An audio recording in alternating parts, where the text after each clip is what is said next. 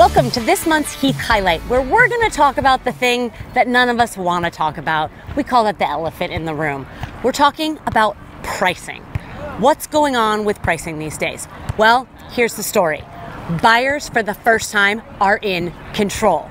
If sellers are pricing where things were priced six, nine months ago and using those as comps, buyers are sitting there going, Yes, I'll wait for you to come back to reality. Have you been reading the news? Have you seen what's happening in the markets? So it's really important when you are listing properties these days as to how you price a property. A buyer will still get to the price that you want to get them to, but it needs to be their idea. Now, the price point that we're seeing moving the most is up to about that two, three million dollar mark.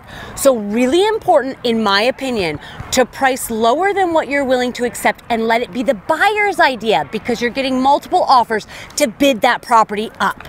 Now, if we're at a higher end, the 5 million plus market, we're needing to price a little bit closer to where we're expecting to land.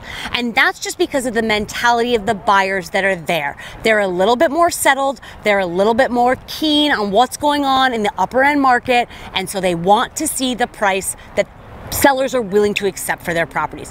It is so paramount how you price properties in this market.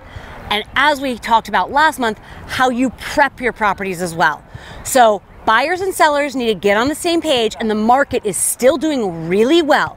But if you price too high, you are, as a seller, going to get the buyers pissed off and they're not going to come back to your property. So let's price right, let's keep the inventory moving, and this market is going to be just fine.